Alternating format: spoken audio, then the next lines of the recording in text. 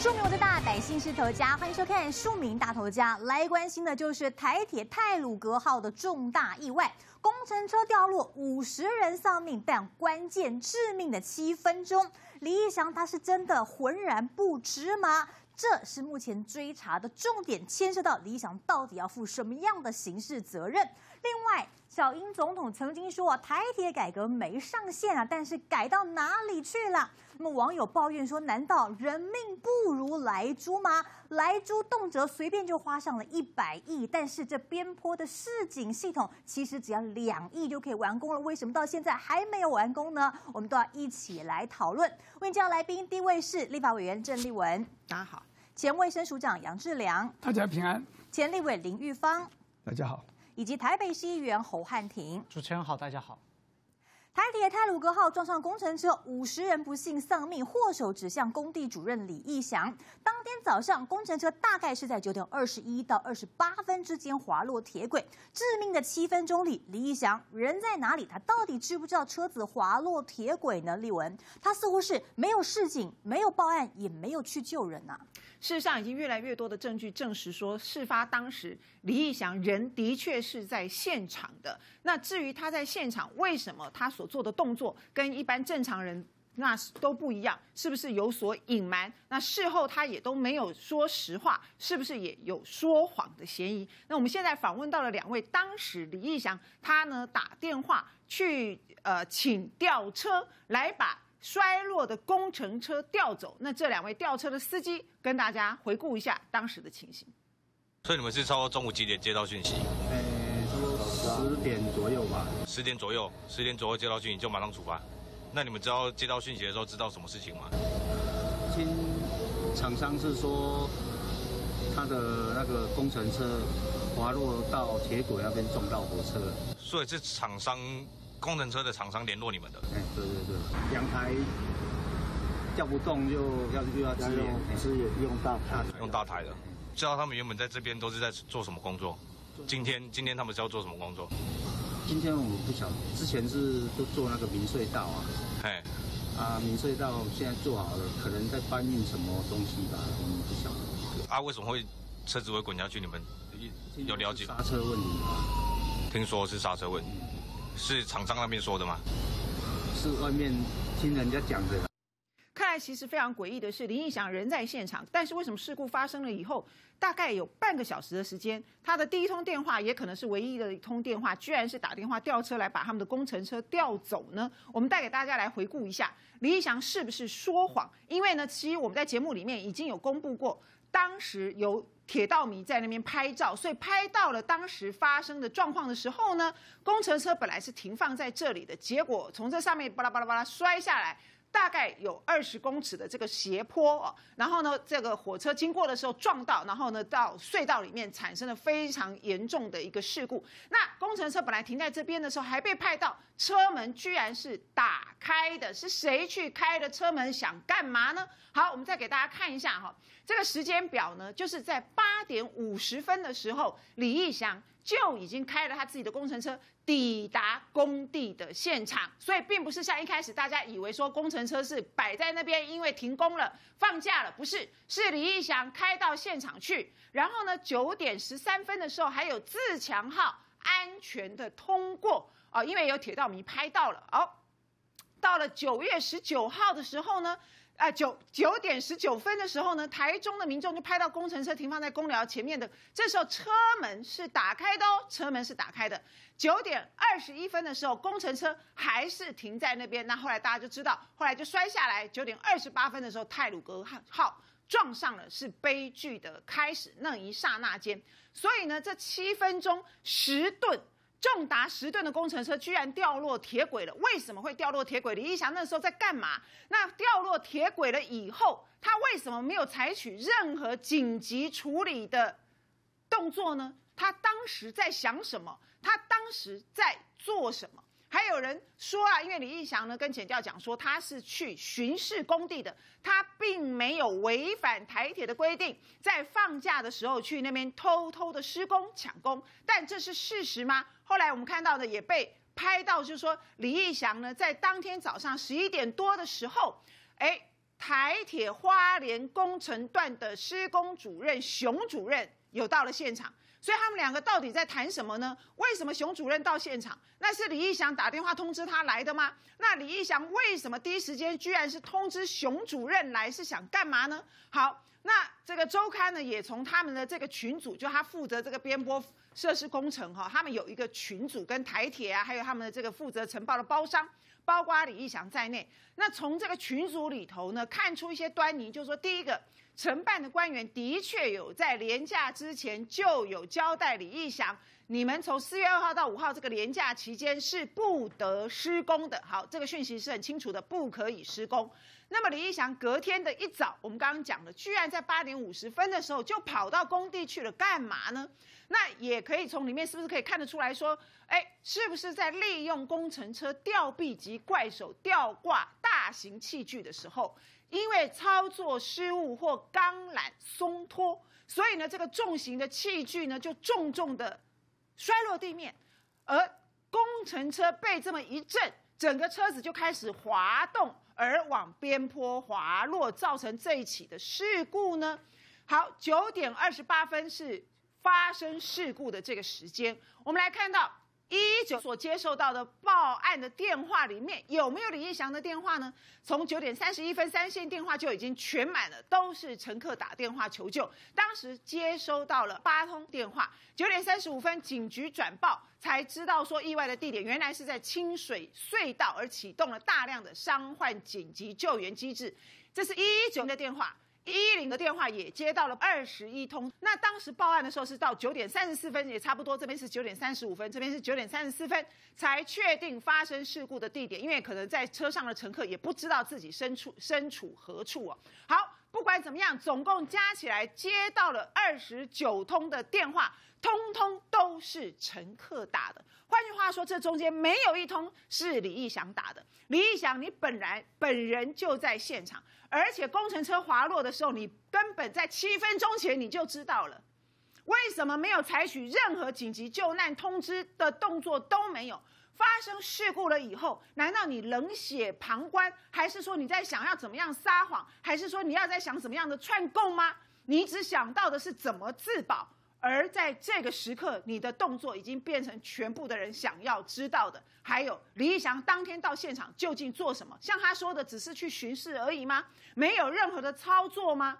没有任何的操作？难道你眼睁睁的看了一个这么大的工程车滑动了，你都没有采取任何的动作吗？相信大家都没有办法相信。嗯哼，除非李义祥真的是完全不知道工程车滑落，否则他只要能够提早一分钟、两分钟通知台铁，那么只要让列车在十六秒之前知道有这样的意外，踩刹车十六秒，这一起事故意外就不会发生了。所以他到底知不知道？他到底有没有打电话呢？问题是，他目前为止啊，似乎有很多说法都被揭穿。我们就要来看到最新的画面：泰鲁格号脱轨意外第一天的空拍现场，就看到很多的轮胎哦，据说是施工后期需要使用的缓冲垫。但是你看到，其实呢？监视器画面看到，疑似就是案发当天酿货的工程车，早上从义城工程行出发，大约九点抵达工地。而这个监视器画面可以看到，后车斗上是载满了轮胎，甚至是副驾驶座疑似是有人坐。如果这一路跟到事发的地点，李义祥说啊，这个独自一个人到工地巡视，这说法看起来恐怕是有很大的出入。他到底为什么载了这么多轮胎到现场？这恐怕都是接下来必须要来厘清的关键重点了。好，就在这个出事的当天，其实有人注意到了这个告示牌，其实呢是透露出了不少多的不少的端倪啊。好，首先来看到这施工的是一个台这个铁路行车安全改善的六年计划。好，再来这个就很眼熟了。建造单位叫做联合大地工程顾问股份有限公司。为什么说它很眼熟呢？因为在二零二零年的十二月，其实啊，猴同边坡走山的委托顾问负责检测边坡安全评估的，不就是这联合大地吗？曾经有这个出事，而且也承揽很多台铁工程的联合大地，这一次怎么又是他呢？好，再来看到施工的厂商叫做东兴营造有限公司。好，那么为什么李义祥会是这个东兴营造有限公司的工地主任呢？明明他自己有公司不是吗？显然他是违法来兼任这个工地主任的。甚至有人就说了，是不是他自己的公司的牌照牌太小了，没有办法来接这个工程，所以是借牌来投标才会是东兴营造呢？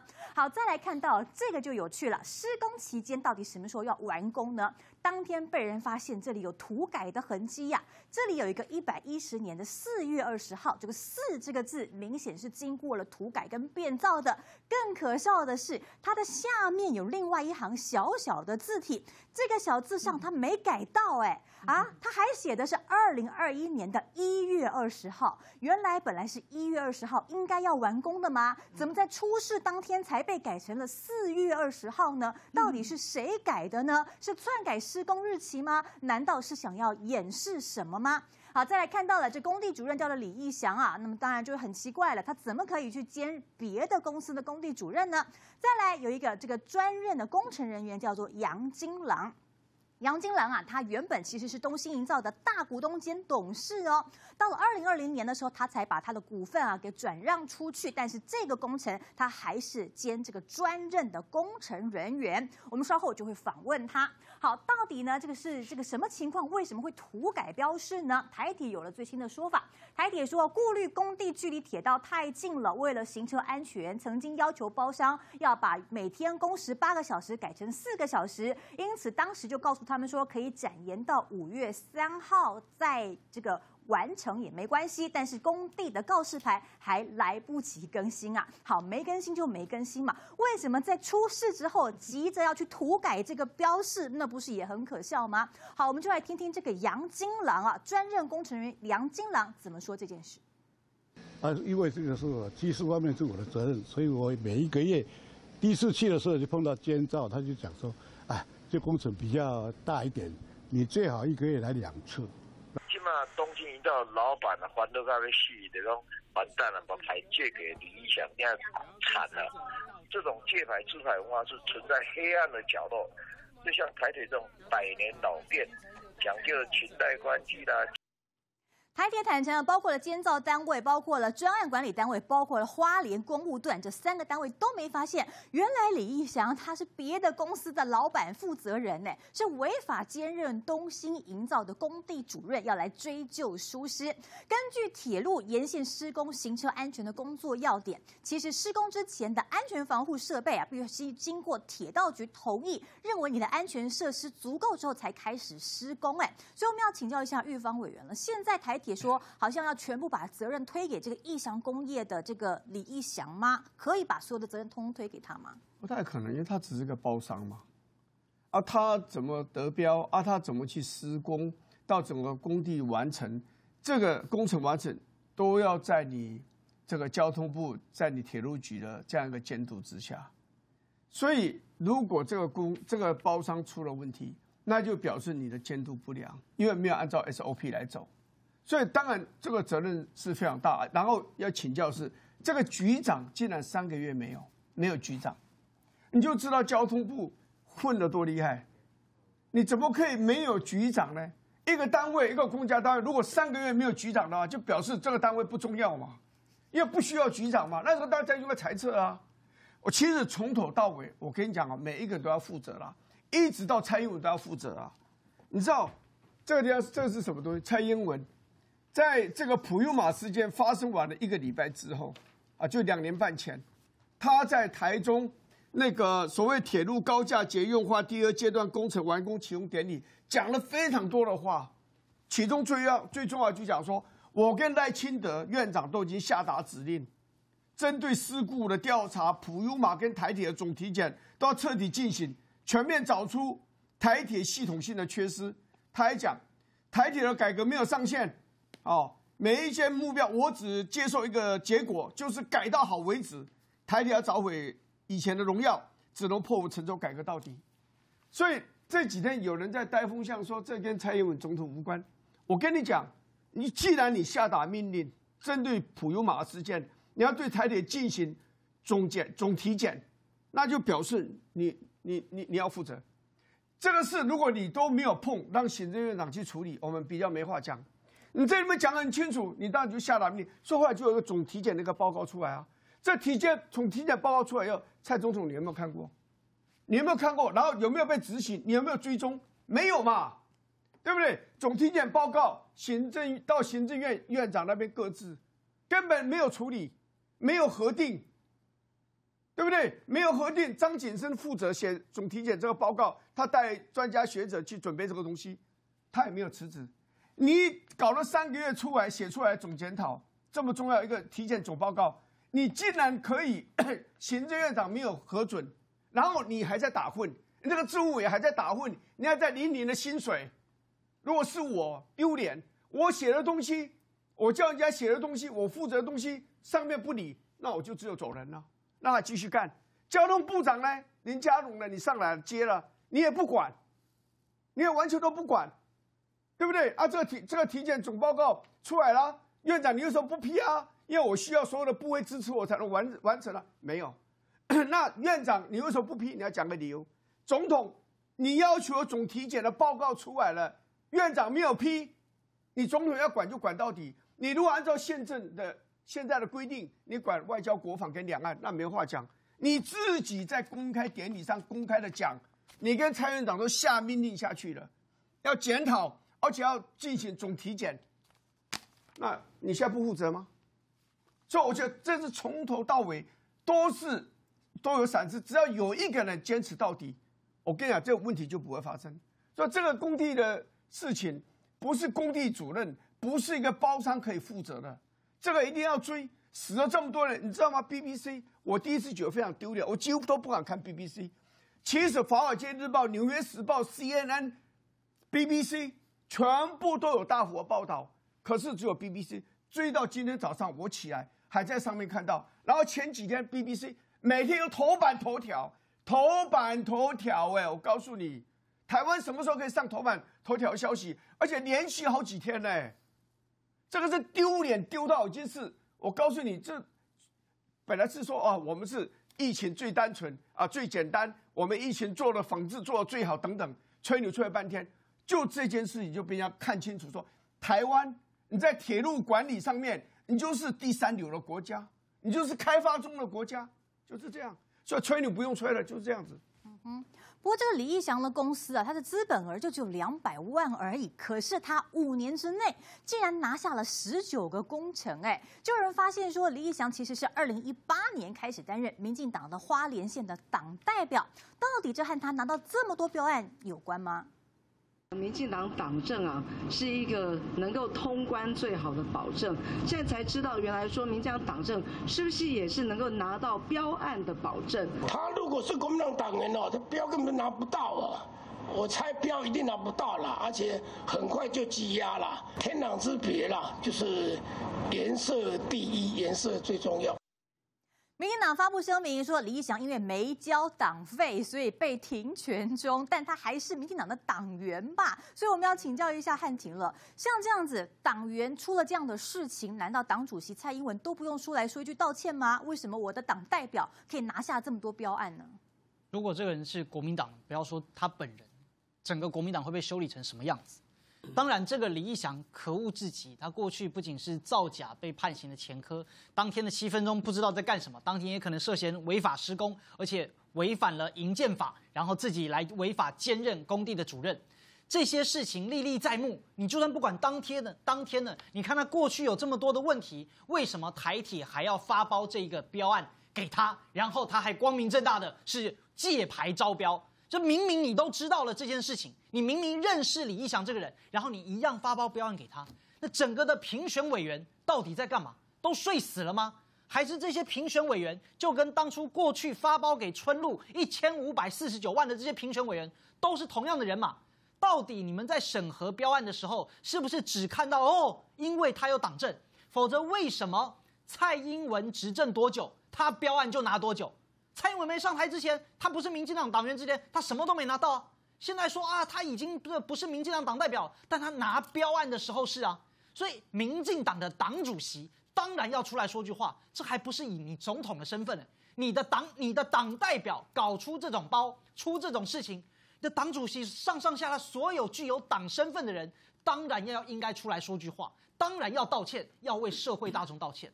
所以他个人当然是罪魁祸首，有极大的责任。台铁在标案的发包跟审查评选，当然也有责任。到底是谁？是你们哪一个交通部门的？比如说，是不是什么铁道施工的这个公务段的段长、主任，还是你们铁路局的哪个秘书处？谁来审查这个标案？那么你们审查的过程是不是只看颜色而不看公干、不看公安？那么再上一层，到了交通部，民进党现在大家都在谢责，说：“哎呀，那个所谓的体检报告啊，我们都这个苏苏贞昌本来就不用看呐，或者是讲说，哎呀，这个体检报告我们已经解决很多事情了，很多都已经解除列管啦。”跟他报告，到底什么叫做解除列管？在这份报告当中，台铁局总体检所列的这份报告，他说我们很多都已经处理了。好，在当中的第九项。第九项谈的就是说，轨道沿线施工路段应加强施工相关安全措施。好，巴拉巴拉巴拉，就是避免这一次如果轨道有异物入侵的状态，面对这个事情，面对这个缺失，那么我们的台铁跟交通部怎么说呢？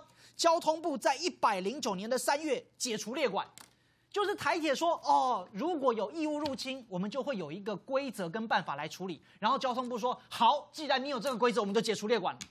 那你解除列管还是发生这个事情吗？这里面有写到说，好，我们要有这个监边坡检测的工跟监测的仪器跟工程啊。本来说要在去年年底的时候完工，然后交通部一样跟他讲说，好，既然你说要做，我们就解除列管。所以交通部、民进党现在口口声声告诉大家，对所有的这些报告，我们都有在解决，都有在解决。你解决个，就你声称有解决解除列管，实际上你只是让公务人员放松了，不用再写公文了。但实际上这个工程完全没有落实，完全没有做到。那么蔡英文身为总统，在这件事情当中，你有没有感到一丝的愧疚跟不安？你有没有反省跟自责？你有没有展现同理心？马来西亚的大学生在台湾不幸遇到事故伤害，蔡英文总统向马来西亚道歉。台湾五十条人命。你们的这个检查报告，什么事情都做不了，然后你蔡英文不肯说一句道歉，上上下下没有一个人说好，我们愿意来承担这个责任，都在卸责。但是蔡英文说近期相关，觉得大家要负责是什么时候？是他在出席转型正义的这个记者会，就是在追杀国民党的时候，蔡英文告诉大家说，相关单位要负责哦，追杀国民党，大家有责任，台湾人民出事了，你们这些人都没责任，恶心，让人看不起。嗯。既然汉尼提到了总统，我们就来听一下。其实，在二零一八年普悠马翻覆意外造成十八名乘客罹难时，当时的蔡总统曾经有承诺，他说台铁的改革没有上限，他只接受一个结果，就是改到好为止，还说要给东部的民众有一条安全回家的路。面对台铁累积多年的问题，我们一定会大刀阔斧，用改革来重建。社会的信心。希望在这一次的事故发生以后，我们要彻底的检讨这整个呃事故发生的原因，跟我们现行的机制上或者是在设施上的不足啊。我们希望给我们的东部的呃民众跟朋友能够有一条更安全回家的路，这是我们共同的责任。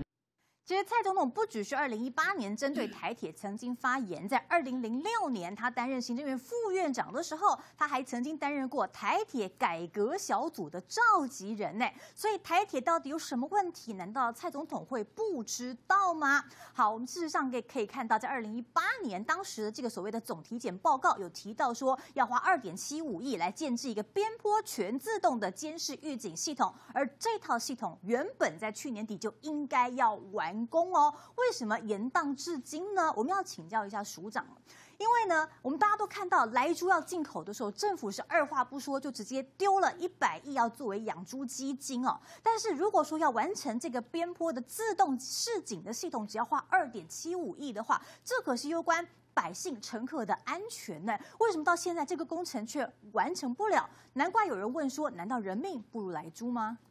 刚刚蔡英文讲的话都是。话，因为哪一次不是这样吗？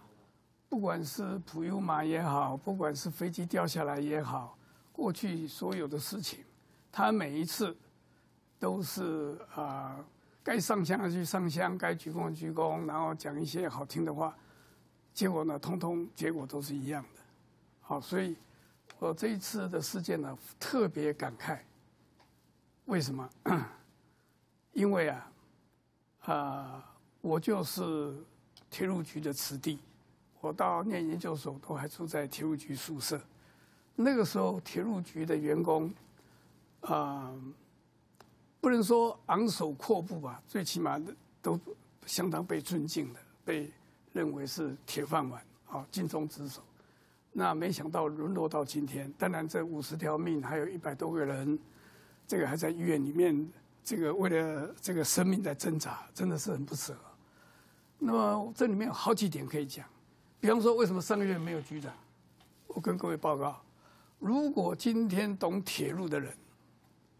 没有人要想当这个局长，找不到人。真正人才也不是跟他们一伙的这个民进党。哎，我要先讲一句哦，民进党是几十年前的事，今天没有民进党，今天只有一四五零党，是吧？这一次一出事，第一件事情就是一四五零就要带风向，就要能够跟苏贞昌、啊蔡英文能够撇清。这哪哪里有民进党呢？那是以前的事情，不然你去问林卓水。看现在还有没有民进党，是笑话，对不对啊？